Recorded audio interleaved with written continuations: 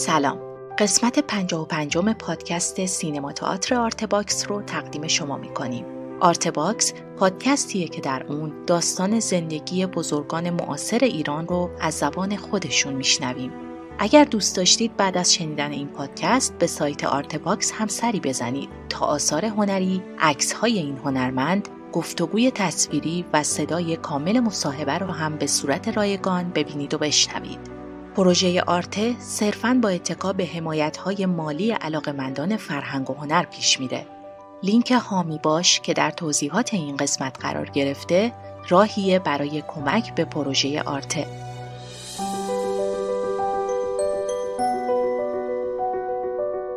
قسمت سوم از صحبت‌های فاطمه معتمداریا که درباره آثار تئاتری و سینمایی در دهه 60 هست رو با هم میشنویم.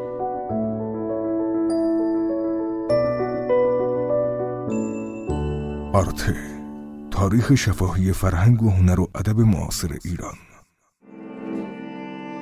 حالا من دستامو به هم می‌زنم. با هم میریم به سه هفتصد سال پیش به سالهای خیلی دور به سرزمینی که شنزاری است. خالی؟ سیمون پرنده است افسانه. پرنده عظیمی که جز او سیمرغ دیگری در جهان نباشد. مجموعه کارهای عروسکی سالهای بین 60 تا 67 و 8 همه کارهایی بود که مال گروهی بود که ما توش با هم کار عروسکی می‌کردیم. کسایی که با هم بیشتر کار می‌کردیم توی مجموعه های تلویزیونی آقای کامبیز صمیمی مفخم بود خانم مرزیه برومند بود رازیه برومند بود حمید جبلی ایرج تحماس بهرام شاه محمدلو حسن شیرازی خانم آزاده پورمختار مرزیه محبوب بعدها دنیا فنیزاده و خانم شادی پورمهدی. بیشتر این مجموعه بودیم که با هم کار می‌کردیم. همون مجموعه که توی کانون در لیول های مختلف مثلا آقای مفخم و خانم برومن دوره های قبلتر از ما بودن و بزرگتر از ما بودن. همونا اومدن توی تلویزیون کار کردن و ماها رو باز به کار گرفتن و با هم شروع کردیم به کار کردن. از این مجموعه کارهای تلویزیون یه سری هم طبیعتا کارهای عروسکی صحنم همزمان انجام می شد یعنی من همیشه تئاتر و تئاتر عروسکی رو با هم جلو می بردم چون جنگ شروع شده بود طبیعتا ما تحت تاثیر بودیم. اتفاقا گروهی که من باشون تئاتر دانشجویی کار می‌کردم اکثرا اهل آبادان بودن جنوبی بودن و توی هنرهای زیبا درس میخوندن. خیلی تحت تاثیر قرار گرفتن چون همه خانواده هاشون اونجا بودن و مهاجرت کرده بودن و این آشفتگی دوره جنگ طبیعتا به ما هم منتقل شده بود. و دو سه تا کار کردیم که اصلا نوشته هاش همه چی در ارتباط با جنگ بود. و یه بخشی برگرفته از واقعیت زندگی همون مجموعه آدمایی که توی گروه ما با هم کار می‌کردیم. آسمون ریسمون درون و بیرون شد. بله آسمون ریسمون اولین مجموعه عروسکی بود که با مجری اجرا می‌شد در تلویزیون. ماجرای دوتا بچه بودن که نادونیاشون یا کاردونیاشون یا سوالا و مسائلی که ممکنه حول مسائل کودکان باشه رو با مجریگری و نویسندگی آقای بیرنگ و راستی ما کار کردیم. ما دوتایی با هم دیگه می‌رفتیم تو خیابون. بعد همه ما رو نشون می‌دادن. می‌گفتم اون دوتا آسمون رو نگاه کن. دوتا داداش دو قلو هم وقت تو تلف نکن. خب. درس تو بخون. با سواد شو. باشه. آخه من این تو شده بودم. به خدا. الان تو مجبوری درس بخونی چون فردا امتحان داری.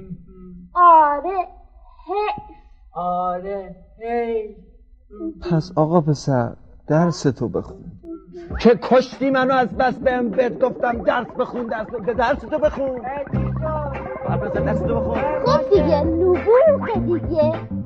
البته فروتنیه دیگه. در اونو بیرونم باز همین اونم یه چون همه این کارهای عروسکی ما کارهای عروسکی بود که برای کودکان و آموزشی کار می‌کردیم. راجع به بهداشتشون سوالات ذهنیشون و روابطشون با خانواده و اطرافیان. اونم در یک قالب خیلی خیلی آرتیستیکی کار کردیم با خانم پورمختار.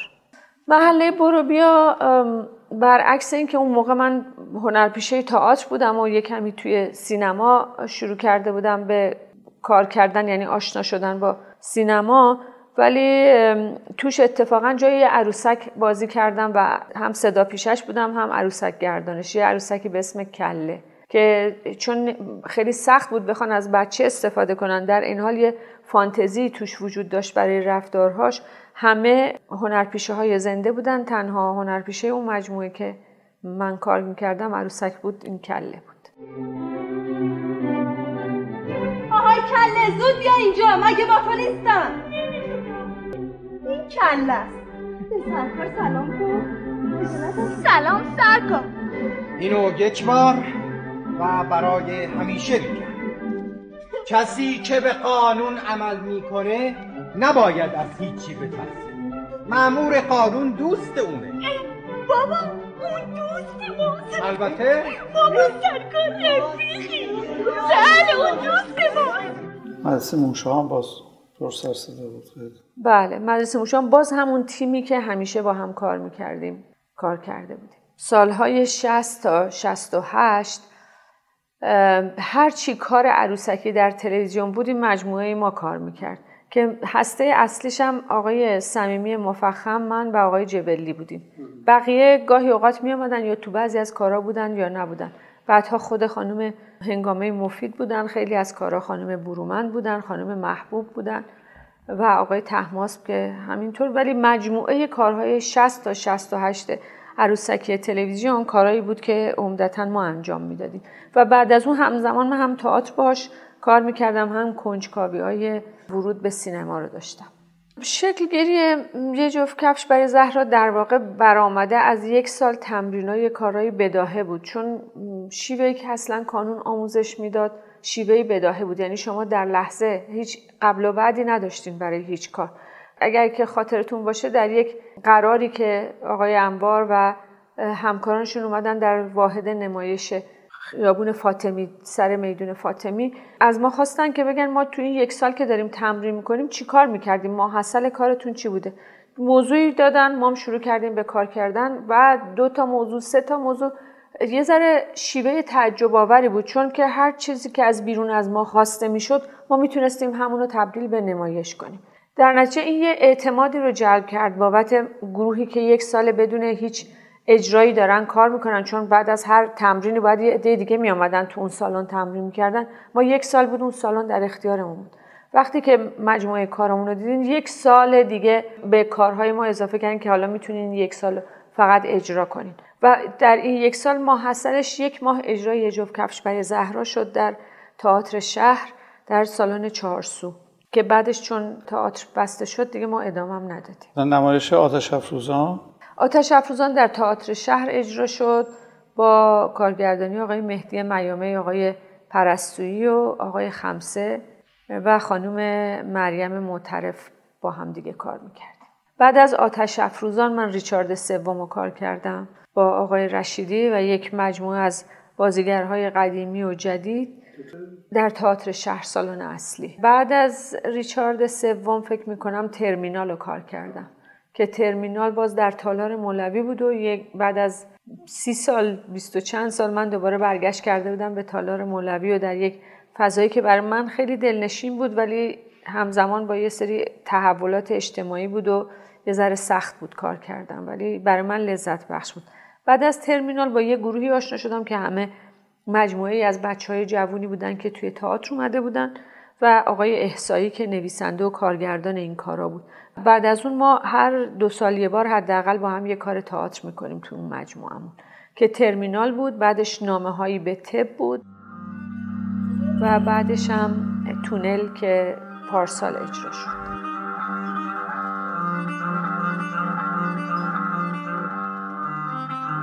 یه روز اومدم خونه دیدم شوهرم وایساده وسط اتاق. داره به همه چی خوب نگاه می‌کنه. بهش گفتم چی کار می‌کنی؟ گفت میای بازی کنی. گفتم چه بازی؟ گفت باید چشماتو ببندی. من یه چیزی رو قایم می‌کنم. وقتی چشماتو باز کردی باید بگی چی سر جاش نیست. چشمامو بستم. تا بیست شمردم. وقتی چشمامو باز کردم همه چی سر جای خودش بود. به جز شوهر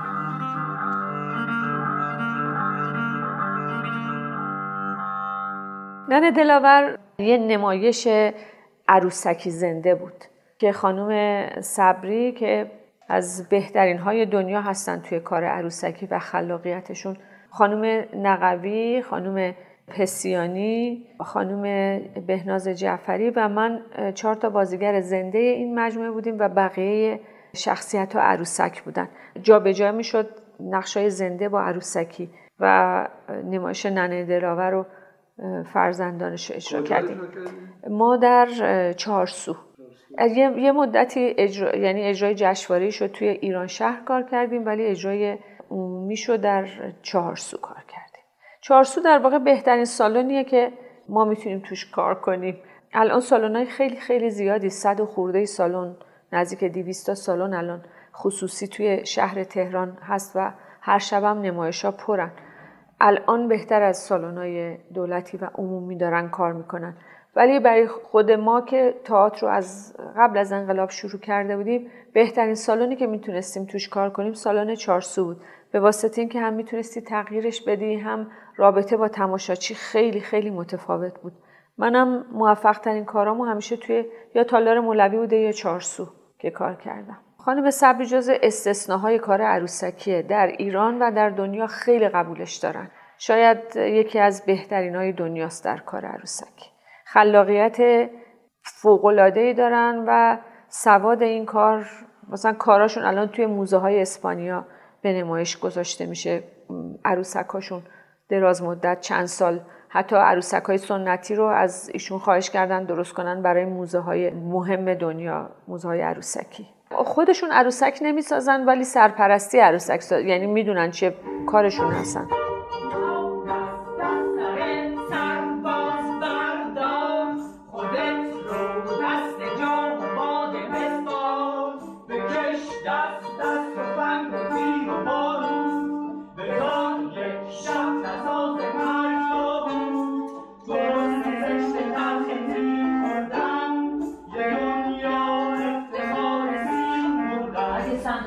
ندی کلک کندم سرکار این پسر عاقله. اگه صندوق پوشش بود حتما به شما می‌داد. چرا؟ چون بهش گفتین اگه صندوق نشون نده کلکش کنده است. به پسر که یالا دیگه حرف بزن تا سرکار داره بهت راه نشون میده.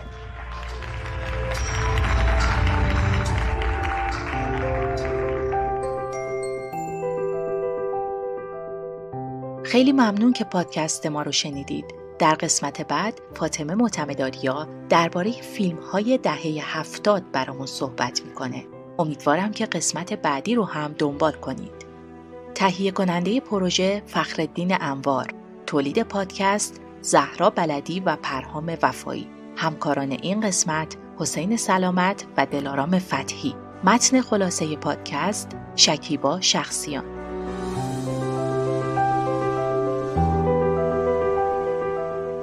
من زهرا بلدی هستم و می‌خوام بخش جدیدمون آرتکست رو هم بهتون معرفی کنم. ما در آرتکست داستانهایی از سرگذشت بزرگان فرهنگ و هنر و ادب معاصر ایران رو براتون میگیم که دیگه در بینمون نیستن. امیدوارم آرتکست رو هم بشنوید و دنبال کنید.